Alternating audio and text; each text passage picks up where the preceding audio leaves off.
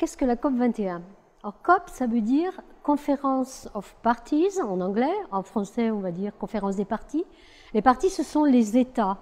Aujourd'hui, 195 pays qui ont ratifié la Convention cadre des Nations Unies pour euh, les changements climatiques, qui a été créée en 1992 au sommet de Rio. Cette euh, convention cadre euh, se réunit via les COP tous les ans, et donc COP21, c'est la 21e conférence des parties.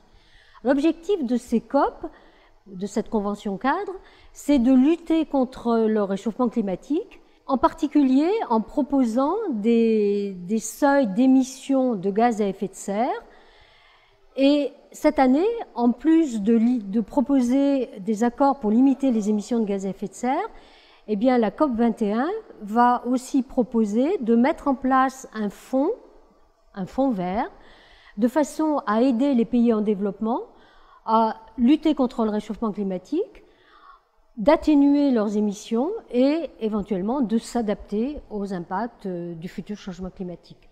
La COP 21, euh, qui se tient cette année à Paris, est certainement un, événement historique. On se souvient qu'à Copenhague, en 2009, eh l'accord euh, pour limiter les émissions de gaz à effet de serre avait été repoussé en 2015. On est cette fois-ci en 2015.